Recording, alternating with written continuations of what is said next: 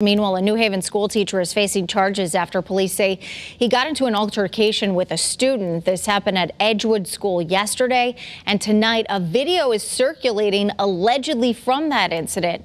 Channel 3 Eyewitness News reporter Aaron Edwards has that story. Here's video posted on social media that is believed to be from the incident at school. You can see the teacher and the student appear to be in an argument. Moments later, it looks like the student starts throwing chairs and desks around the classroom.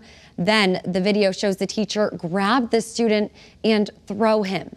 Tonight, there are several parents on social media defending this teacher and saying the video doesn't show the whole story. But others say this teacher crossed the line.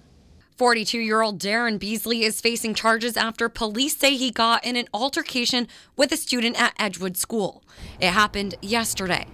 Beasley was arrested and charged with risk of injury to a minor, reckless endangerment in the second degree, and assault in the third degree. Video on social media has been circulating, allegedly showing the incident. But parents say it doesn't show the full story. So while everyone's like, well, there's video to show it, we have to be really careful as to what exactly the video captures. Does it capture only a small piece of the incident and missing what led up to that incident?